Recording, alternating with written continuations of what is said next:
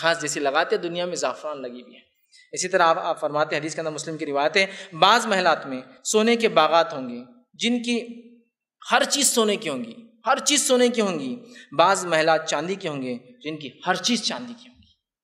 جنت عدن تو ایک اسپیشل مقام ہے اسپیشل لوگوں کو ہے۔ لیکن کچھ ایسی بھی جنت ہے جہاں موتی اور وہ نہیں گا رہا ہے۔ دوسرا ہے، سب سونے کا، سب چاندی کا، لوگوں کے الگ الگ مقامات، الگ الگ اعمال کے اعتبار سے۔ اسی طرح جو ہے، صحیح مسلم کی روایت آپ نے